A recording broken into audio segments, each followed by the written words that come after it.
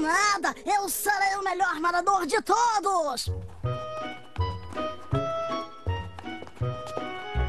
Patos são bons nadadores naturalmente por causa do nosso tipo de pé.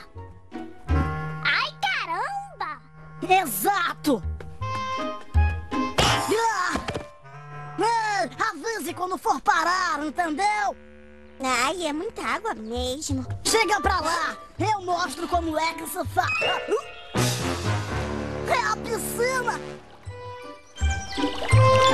Estão todos de boia?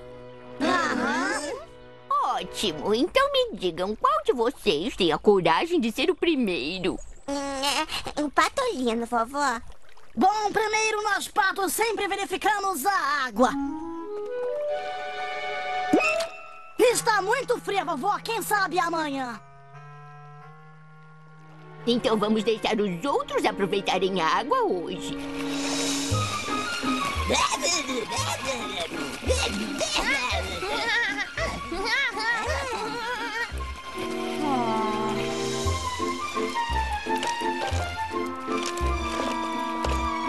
Perna longa!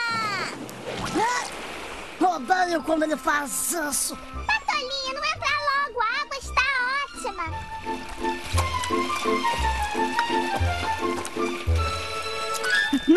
Está muito quente para um pato. Somos nadadores muito especiais. Talvez amanhã.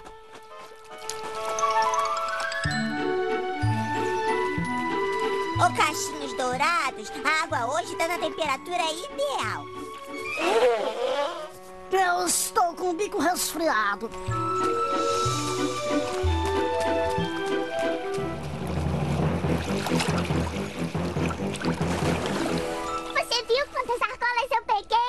Ah, desculpe, eu estava pensando no patolino. Ele ainda não veio nadar. Eu acho que o patinho tem medo de água. Tadinho, está perdendo a diversão.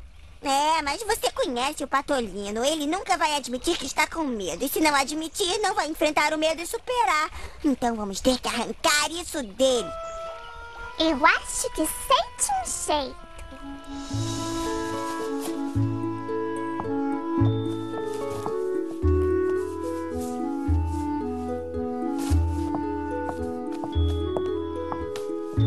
Durmam bem.